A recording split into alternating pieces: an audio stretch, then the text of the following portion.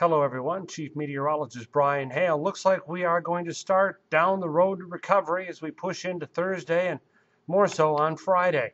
Overnight, looks like we'll have plenty of clouds, still the chance for showers, and overnight lows in the uh, low to mid 40s, north wind 10 to 15 miles an hour. Coastal fog, the most uh, obvious choice there in terms of the potential for patchy fog overnight.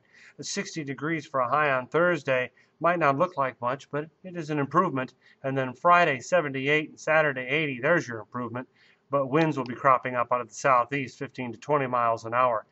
Your rainfall totals, how much has it rained anyway? Well, not a whole lot. At the time of this recording, looking at uh, just little trace amounts all across the valley.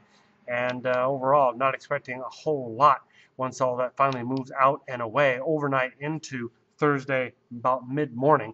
Then we're done with any chance for light showers, and we go on through the day again with slow improvement. But Friday, a market improvement as southeast winds return, clear skies. So southeast winds and sunshine working together to get us right up there and feeling good. Charro Days, a big save in terms of that forecast turning around. Look at your Friday and Saturday there with 76 to 80 degrees, and again the southeast winds 15 to 20. Looks good.